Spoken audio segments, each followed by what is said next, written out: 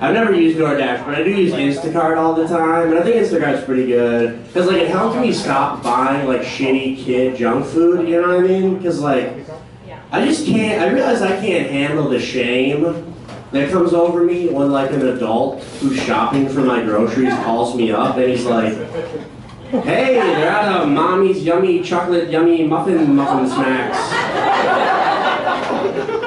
Want me to replace him with gooey yummy tummy buddies?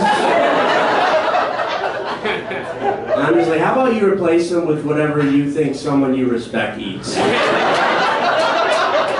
want this guy making three dollars an hour to like me, okay?